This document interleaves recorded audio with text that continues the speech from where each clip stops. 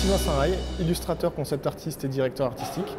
Euh, des mots euh, peut-être un peu compliqués pour ceux qui ne sont pas dans les arts appliqués. Globalement, pour résumer assez succinctement, je fais les illustrations conceptuelles au début de projets euh, dans les mondes fictifs, c'est-à-dire jeux vidéo, cinéma, c'est-à-dire plutôt spécialisé environnement. Alors mon rapport entre mon métier et le festival Tomorrow Stories vient du fait que le projet sur lequel je suis en train de travailler et dont je suis à l'initiative est Forest of Liars. C'est un jeu d'aventure très très narratif où on explose euh, certaines règles de narration dans le fait que ça va être une histoire qui va se réinventer à chaque partie. Euh, au niveau des dialogues, au niveau des personnages, on va rencontrer de nouvelles choses. On va essayer de trouver un compromis entre l'aléatoire, la génération et des choses préécrites à l'avance, de façon à ce que chaque joueur puisse chacun comparer son aventure et son histoire exactement comme si deux personnes revenaient du Japon et comparaient leur voyage. Ben nous, ça va être ça dans une forêt. Est-ce que la narration aléatoire est une nouvelle forme de narration? Je pense qu'on n'a rien inventé. Beaucoup de gens le tentent, essayer de pouvoir euh, créer une histoire à chaque fois avec un petit moteur qui nous le génère. Euh, c'est un fantasme et un rêve de beaucoup d'écrivains. Je pense qu'on n'est pas prêt d'y arriver. Euh, quand je dis pas prêt d'y arriver, juste en demandant à un algorithme de nous pondre une histoire de A à Z, malgré le fait que Netflix l'essaye de temps en temps, parce qu'en fait on a besoin de rencontrer de la personnalité, comme on a besoin de rencontrer de nouvelles personnes, on n'a pas envie de savoir à l'avance qui c'est qu'on va rencontrer. Je pense qu'il y a quelque chose à essayer de trouver un compromis euh, dedans. Néanmoins, j'estime pas ça que c'est le futur, juste une alternative ou une autre façon de consommer un scénario ou de l'histoire. Alors, quel est le lien entre le jeu vidéo et le reste des autres médias, euh, numérique, animation? Sans vouloir exclure les autres arts, je pense que le jeu vidéo synthétise la plupart des autres médiums. Euh, un livre euh, ne peut pas être un jeu vidéo, mais un jeu vidéo peut devenir un livre en étant textuel. C'est-à-dire il y a des jeux qui sont complètement textuels. Un jeu peut être complètement musical ou peut mélanger un livre et de la musique et ainsi de suite. Même au niveau de la danse, maintenant avec la reconnaissance de mouvement, avec la VR, on a énormément d'expériences différentes. Donc déjà en plus de synthétiser les autres arts, euh, il arrive à en créer des nouveaux. Est-ce que les jeux vidéo ont un lien avec la narration de demain? Moi je pense que oui. C'est-à-dire c'est déjà enfin demain et déjà maintenant, en fait, c'est déjà en cours. C'est-à-dire on a des jeux vidéo qui sont prévu en épisode d'un point de vue narratif, comme des séries télé. Euh, il commence à y avoir de plus en plus de liberté pour le joueur pour se réapproprier l'histoire ou inversement pour lui imposer. Le jeu vidéo, des fois, euh, lorgne vraiment près du cinéma, tout en apportant de nouvelles pierres. Je ne pense pas que ça va forcément devenir un standard, parce que des fois, on a aussi le confort de la narration traditionnelle, où on a juste à suivre un script en tant que spectateur, et c'est aussi un, un moment de repos. Donc ça, ça va dépendre des phases et je pense qu'il y en aura un petit peu pour tous les goûts. Ce qui est bien, c'est que les champs s'étendent au niveau de la narration. Alors, quelle est la meilleure façon de créer un lien entre les différents secteurs du numérique?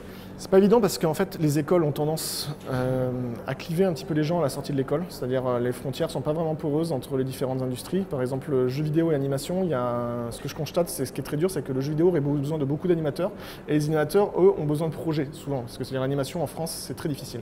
Euh, et rentrent trop peu en contact. Et je pense que pour l'instant, la meilleure solution, on ne peut pas la demander de la, part du gouvernement ou des fois des écoles qui ont besoin de trop cadrer les élèves. Ça va être le monde associatif et culturel de savoir euh, réseauter et savoir stimuler. Je pense que les storygraphes, euh, le réveil créatif ou le café créa euh, participent à ce genre de choses, de toute façon à ce que les professions se rencontrent, se mélangent et se métissent un petit peu. Par rapport à ma participation au réveil créatif, je suis venu présenter avant tout une démarche philosophique et artistique dans la façon comment je réfléchis.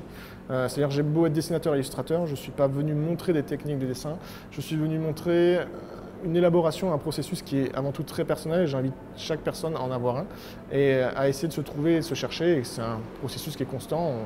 Il faut s'accepter comme être de la pâte à modeler et je suis venu présenter ça. Alors, quel est, quel est mon intérêt, euh, quelle est ma, quelle est la pertinence de ma présence au réveil créatif. Je pense que je vais laisser les spectateurs le décider. Moi, le but, c'est avant tout de partager des, points de vue, comme j'aime qu'on partage.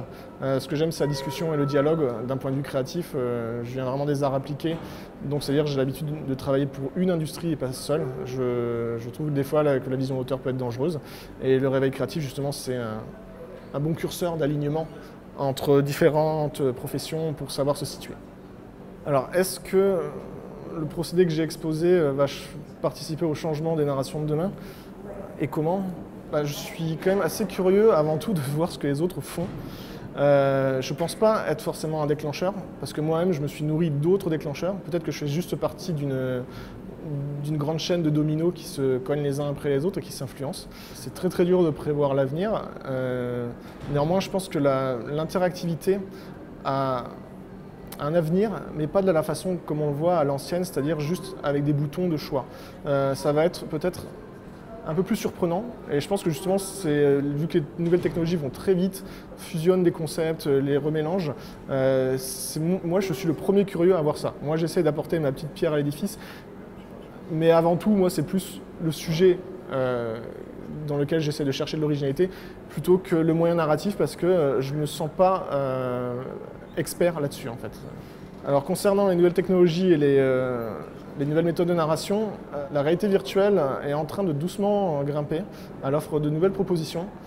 Je crois que j'en ai pas assez consommé pour en voir tout le potentiel, c'est-à-dire que les rares essais que j'ai faits, j'étais très convaincu, mais j'y voyais la très grande difficulté de convaincre le public, euh, autant d'un point de vue ressources et euh, niveau habitude, c'est-à-dire les gens sont habitués à ce qu'on leur raconte une histoire qui va d'un point A à un point B, et toutes ces variations les perturbent. Déjà, les jeux vidéo se standardisent aussi par rapport à d'anciens modèles, ont des fois un peu du mal à sortir de leur propre carcan malgré leur originalité par rapport au cinéma. Euh, donc il va y avoir un énorme travail didactique par rapport à tout ça.